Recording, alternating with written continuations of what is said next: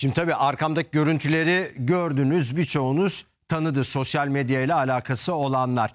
Burak Özdemir desem birçoğunuz bu ismi bilmez ama Cezene Burak desem birçoğunuz yine tanır. Zaten görüntüsünden belli oluyor kim olarak kim olduğu. Cezene Burak yani Burak Özdemir babası tarafından dolandırıldığını öne sürdü. Suç duyurusunda bulundu. Aralarındaki ilişkiyi tamamen kopardığını belirtiyor.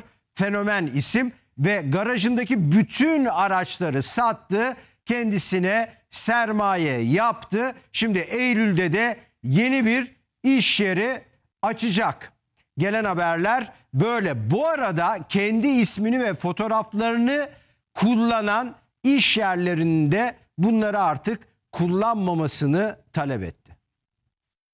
Koş koş gel Kuzu ince kuzu dolma kuzu kafes pirzola veya Şovlarım sana özel havaya Geçelim halaya Gelsene hadi buraya ne bakıyor durma be tallam Babası tarafından dolandırıldığını iddia etti. Onu mahkemeye verdi.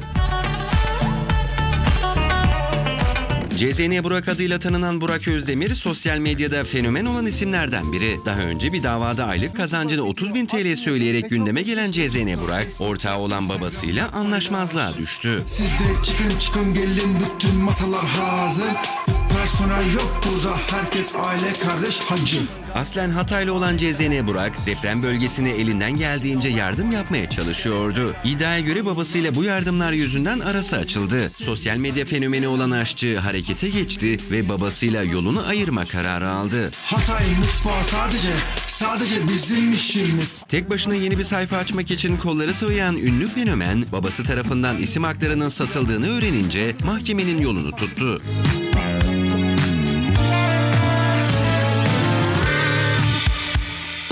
Babası tarafından dolandırıldığını söyleyen CZN Burak, kendi adını ve fotoğrafını kullanan mekanlardan tabelaların indirilmesini talep etti. Annesiyle beraber İstanbul'da sıfırdan başlama kararı aldı.